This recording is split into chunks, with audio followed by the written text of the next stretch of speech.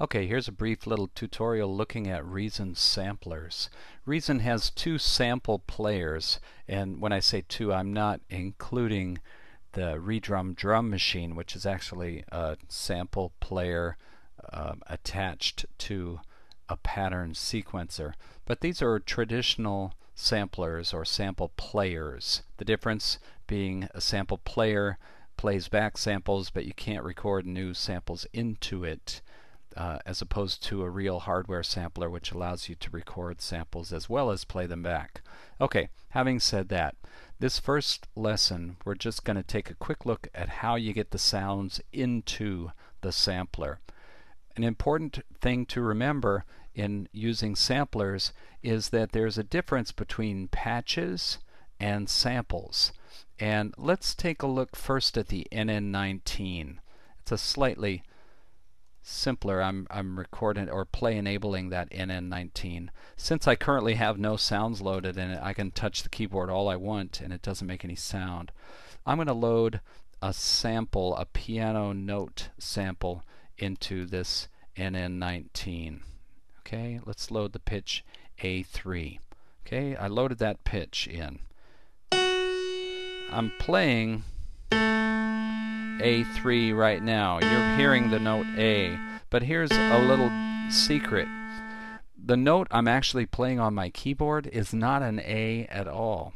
Even though that sample, they recorded someone playing A on the piano, that sample was mapped to the note C3. You notice this little highlighted section on the keyboard? And it's set at C3. I'm going to move that up to A3. Okay? And the way I'm going to move it is by using this root key knob. And I'm going to dial in A3. Now when I play A3, I get that sample.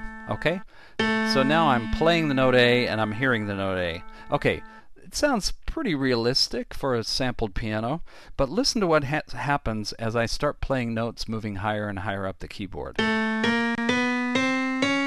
Do you notice that within a few notes it's starting to sound way too bright, kind of like a toy piano?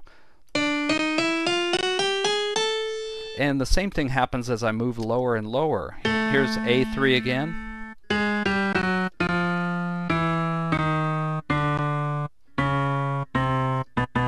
It doesn't sound realistic at all.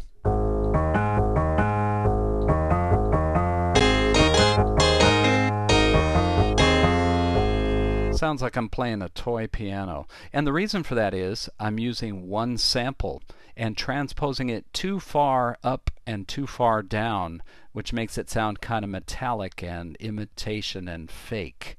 Okay, so I'm going to get rid of that sample. The way I get rid of a sample is right click or if you have a Macintosh, you can control click anywhere on that NN19 sampler and it brings up this contextual menu. I'll choose initialize patch and that gets everything out of my keyboard. I'm playing notes and you're not hearing anything. Okay, let's go over to this section and we're going to browse patches now.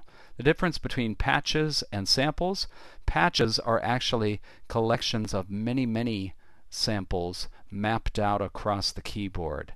Let's choose, oh, how about just this kind of generic grand piano patch. I'm going to click this button says select key zone via MIDI. What that's going to do as I play up and down the keyboard, this little highlighted area will move to indicate which sample is playing at any given time as I move up and down the keyboard. Do you know? Do you notice that every time I uh, play up or down a couple of notes, after a few notes it shifts to the next sample. This piano was sampled several times, low notes, and then gradually moving up, skipping a few keys each time. And what that does is makes our piano sound more consistent from moving from the high notes to the low notes.